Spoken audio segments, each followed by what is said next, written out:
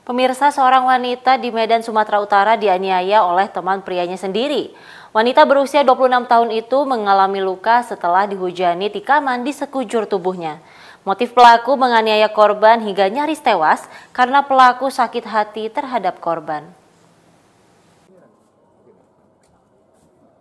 Peristiwa yang dialami korban terjadi pada Selasa dini hari di Jalan Yosudarso Medan, Sumatera Utara. Berawal saat pelaku yang berinisial MF mengajak korban untuk bertemu di Jalan Jamin, Ginting, Medan.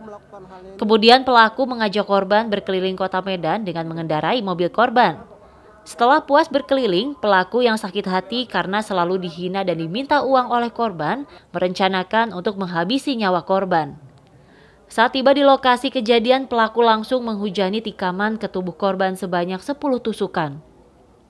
Pelaku merasa korban sudah tewas kemudian meninggalkan korban di tepi jalan, tepatnya di depan halte bis Jalan Yosudarso, depan kampus Universitas Dharma Wangsa. Sementara mobil Honda Brio warna merah milik korban dibawa kabur oleh pelaku. Berapa juta diminta? Satu setengah pak. Untuk apa? apa itu? Untuk keperluan pribadi dia pak. Kamu pacaran ya? Tidak pak, teman dekat pak. Kenapa Istilahnya bisa minta uang? Ya pak, Kenapa bisa minta uang? Karena kak pertama kali jumpa janjian pak, dia selalu minta uang pak kalau mau bertemu pak. sehingga tersangka melakukan pemukulan dan mengambil pisau langsung menikam korban sebanyak 10 kali. Kemudian korban sempat melawan dan menyelamatkan diri keluar dari mobil.